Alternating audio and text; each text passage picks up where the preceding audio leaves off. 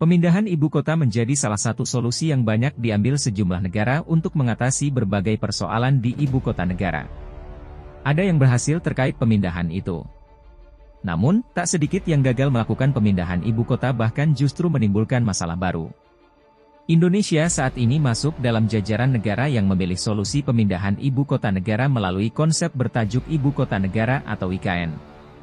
Meski masih terdengar suara pro dan kontra, Proses menuju pemindahan IKN ke Pulau Kalimantan saat ini terus berjalan bahkan telah disahkan dalam Undang-Undang Nomor 3 Tahun 2022 tentang Ibu Kota Negara IKN. Berikut adalah daftar negara yang gagal memindahkan ibu kotanya. Yang pertama, Myanmar. Awalnya ibu kota Myanmar berada di kota Yangon. Namun, pada 5 Februari 2005, pemerintah Myanmar yang dipimpin oleh junta militer memutuskan untuk memindahkan pusat pemerintahan ke kota Naypyidaw, yang terletak sekitar 320 km di utara Yangon. Tidak ada alasan resmi yang diberikan untuk pemindahan tersebut, tetapi spekulasi mengenai alasan pemindahan termasuk untuk mencegah serangan militer asing. Total biaya yang dikeluarkan untuk membangun ibu kota baru itu menghabiskan dana sebesar 4 miliar dolar.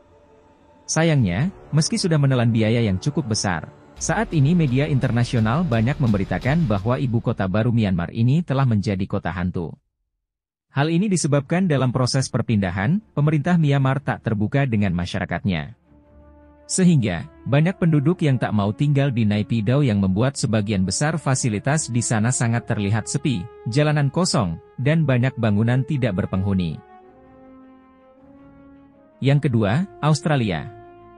Melbourne dan Sydney pernah bersaing untuk menjadi ibu kota negara Australia.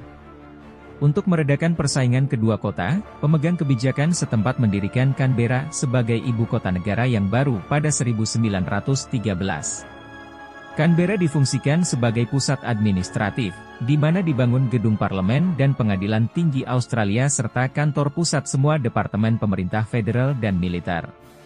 Pada 1996, Perdana Menteri John Howard mengumumkan kepada publik bahwa dirinya memilih pindah ke Kirribilli House yang menghadap pelabuhan Sydney. Publik Australia menilai ini merupakan semacam pengakuan diam-diam atas kegagalan pemindahan ibu kota. Bahkan mantan Perdana Menteri Paul Keating mengatakan kota Canberra merupakan salah satu kesalahan terbesar negara Australia dan harus segera ditinggalkan. Menurut Profesor Michele Acuto, seorang pakar politik dan perencanaan kota dari Universitas Melbourne, kekuatan ekonomi Australia terlihat terpisah dari pusat kekuasaan politik lebih dari 100 tahun setelah pemindahan ibu kota dari Sydney ke Canberra. Yang ketiga, Korea Selatan. Kondisi ibu kota de facto baru Korea Selatan di Sejong hampir mirip dengan situasi di Putrajaya, Malaysia. Banyak pegawai pemerintah di Korea Selatan yang menolak dipindahkan dari Seoul ke Sejong dengan alasan tidak ingin melakukan perjalanan bolak-balik ke Seoul setiap minggunya. Selain itu, kehidupan sosial mereka sebagian besar berpusat di Seoul. Mereka menganggap Sejong sebagai kota yang tidak memiliki jiwa yang akhirnya gagal dipindahkan. Yang keempat, Kazakhstan. Pada 1997, Kazakhstan memindahkan ibu kota negara dari Almaty ke Astana karena kota sebelumnya sudah terlalu padat dan rawan gempa. Kazakhstan diklaim mengalami tekanan ekonomi setelah memindahkan ibu kota negara ke Astana.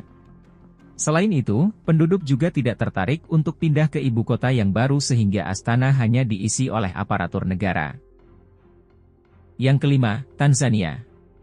Tanzania memindahkan ibu kota negara dari Dar es Salaam ke Dodoma pada 1970. Namun pemindahan dinilai gagal karena lambatnya perkembangan di ibu kota negara yang baru tersebut dan Dar es Salaam justru malah lebih berkembang. Meski Majelis Nasional Tanzania sudah dipindahkan ke Dodoma, namun seluruh kedutaan asing dan kantor pemerintahan masih ada di Dar es Salaam.